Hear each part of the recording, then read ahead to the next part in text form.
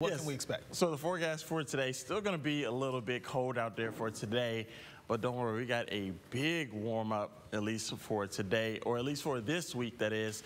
So we'll see temperatures into the mid 50s by Thursday through Sunday, that is but we're still on the cold side right now. 17 degrees out there right now with winds just southwest at 5 miles per hour.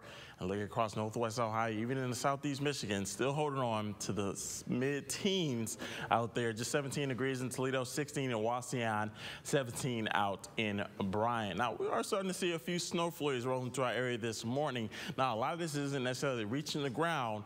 But We would like to see a few on and off snow flurries as you go throughout your Monday after Christmas. As we head into early January, as I said, well, it's going to get very mild and damp. We're talking temperatures almost 20 degrees over uh, above average for this time of year.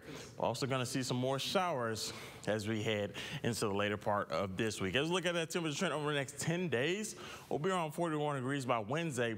As we head into Friday and Saturday, we'll be into the mid 50s as we head into Saturday for your New Year's Eve. Going to be a bit of a warmer one out there, just around 51 degrees as we head into Sunday. Our next rain chance comes in Friday into Saturday. Well, we'll see rain chances just just around for Saturday morning, and eventually start to see more rain chances as we head into Saturday night. Let's look at rain and snow chances over the next seven days. On Monday, we'll still see a few flurries out there. We'll actually be dry for Tuesday and Wednesday. But as we Thursday, Friday, even Saturday, that's when we'll see our next rain chance. And as we look at your extended forecast for you, we'll see a few flurries for Monday, staying dry for Tuesday and Wednesday. And we'll finally see some peeks of sunshine as we head into Tuesday, Wednesday, even into Thursday. But by Saturday and Sunday for your last weekend of 2022, going to be a bit of a warm one with some rain chances. Matt, 56 degrees 56. on Saturday. Mm -hmm. Wind chills negative 30 to 56 degrees. Wow. I don't. It, I guess science. it'll,